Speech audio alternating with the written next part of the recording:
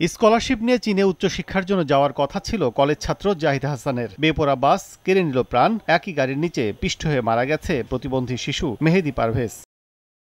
বৃহস্পতিবার বিকেল সাড়ে চারটার দিকে রাজধানী রামপুরা ইউলুপে রাস্তা পার হচ্ছিল জাহিদ। এ সময় ভিক্টর ক্লাসিক পরিবহনের বাস নিয়ন্ত্রণ হারিয়ে হাতিরঝিল পয়েন্টে ঢুকে ধাক্কা দেয় তাকে। সঙ্গে থাকা আত্মীয় তাকে মুমূর্ষ অবস্থায় ঢাকা মেডিকেলে নিলে সাড়ে ছয়টার দিকে মৃত ঘোষণা করেন চিকিৎসক। পরিবার জানায়, আগস্টেই স্কলারশিপ নিয়ে চায়না নর্থ ইলেকট্রিক ইউনিভার্সিটিতে যাওয়ার কথা ছিল জাহিদের। বাবার কাছে টাকা পয়সা নিয়েছে, জুতা কিনবে, তারপরে ব্যাগটা কিনবে, দুই ভাই, দুটাই ভাই আর কি, ও আর ওর বড়টা, ইমরান।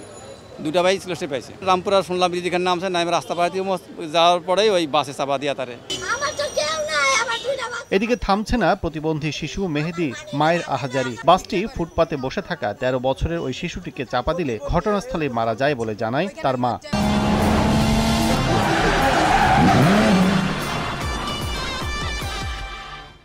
আমার পায়ের বাটিতে লাগছে আমি পড়ে গেছি গা বাচ্চা ধরতে পারি নাই। বাচ্চা একবারে গাড়ির চাপ খায় চাপটা হয়ে গেছে।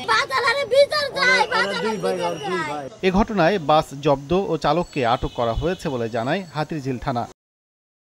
ভিক্টর পরিবহন গাড়ি আটক আছে আমাদের হেফাজতে আছে। এ ঘটনায় জড়িতদের শাস্তি দাবি করেছে নিহতদের পরিবার।